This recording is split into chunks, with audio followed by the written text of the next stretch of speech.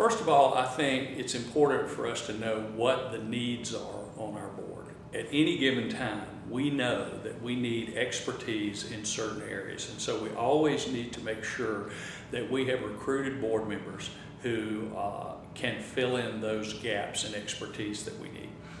Uh, second, uh, one of the mistakes that a lot of nonprofits make is they wait until three or four weeks before the end of a board term and then they start looking around.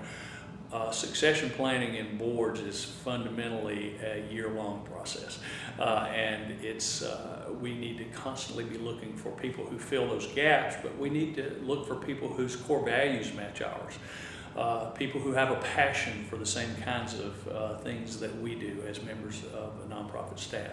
Um, and people who uh, honestly can help develop the resources that we need to, to succeed.